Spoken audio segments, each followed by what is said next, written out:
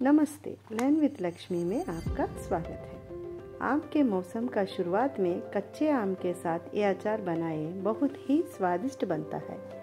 इसके लिए मैंने 300 ग्राम आम 300 ग्राम गुड़ मस्टर्ड सीड्स तीन टेबलस्पून लाल मिर्च पाँच से छः स्वादानुसार नमक लिया।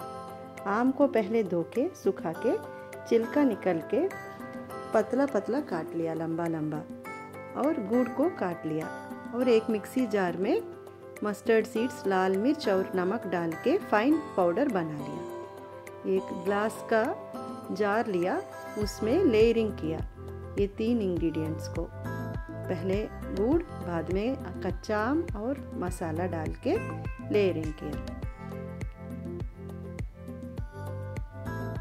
इसको आप बाहर पंद्रह दिन तक ये रहता है।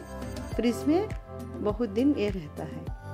ये इंस्टेंटली खाने वाला अचार है। अच्छा सा ग्लास जार को ढक के अच्छा सा हिला के पूरा इंग्रेडिएंट्स मिलने तक चलाना चाहिए।